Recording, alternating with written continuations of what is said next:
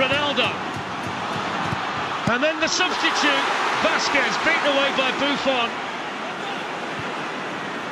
And then Ronaldo! Oh! What a goal by Cristiano Ronaldo! Sensational!